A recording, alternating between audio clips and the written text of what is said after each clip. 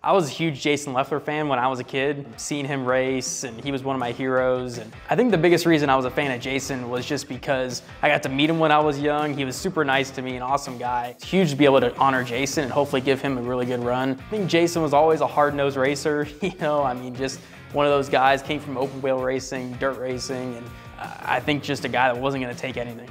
I think also having the connection with JT, you know, he worked on that car in 2004 in the Busch Series. So um, it's where I got the double zero from. It's where, you know, that all started. So I think uh, that car always meant a lot. That was in, uh, was in 04 with uh, Jason Leffler. So that was uh, actually was the first, I guess, uh, paying job that I had in racing. He was a a lot of fun to be around off the track. You know, we uh, kept the group together, but uh, when you got him on the racetrack and got him at the racetrack and the helmet was on and, and the time was serious, he was uh, very passionate about what he'd done, very uh, talented driver. See him, and, and I think, you know, Jason's a lot like Cole. You know, he was such a uh, a, a, big part of our team and such a big part of you know the friendships that we had. We wanted to win for him, you know, as much as we wanted to win for us. For an organization, it showed that you know we was we, we was legitimate. Tonight it's Jason Leffler. Let's go down to victory lane and Mark Garrow.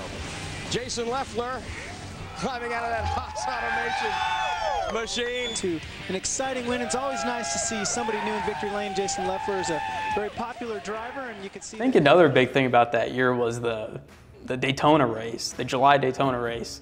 Oh, when yeah. they wrecked, he wrecked both DEI drivers yeah. in one lap. On yeah, and, and, and, that just showed his tenacity to, to want to win. You know, he he was not going to let them beat him at the Fourth of July race down there at Daytona.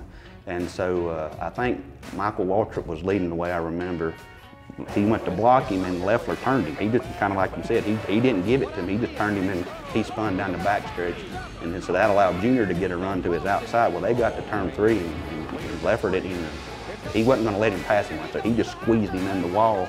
I think that he just sent a message, you know, and that's, and that's who he was on, on the racetrack. And he got out and he was joking and laughing and, and, and like it wasn't nothing to it, so to speak. Uh, but he, was a tough, tough competitor. And the, what made that team so special was Leffler and his personality, uh, how he wanted it to be a team. He wanted us to be friends. You know, Bootie Barker was wired the same way. You know, we had, you know, Phil Ryder and Sean Haggerty and Hal, Hal Dooley and, and uh, Trucker Bill and Scott Bray that's still here. And we all was a one big family. You know, Daniel Smith and, and uh, and Mike Warner that was on that team. And we done a lot of stuff outside of the racetrack with one another. We just honestly enjoyed being around each other and as friends and, and, and, and then we just got to compete with one another too. And I, I think that uh, that's not something that happens every day, you know, and that's what made that team so special was, was the relationships that, that, that, that we had and, and, and, and you know, uh, still, uh, you know, I don't have Facebook, but my wife does, and we keep up. You know, they've moved to different parts of the country now, but still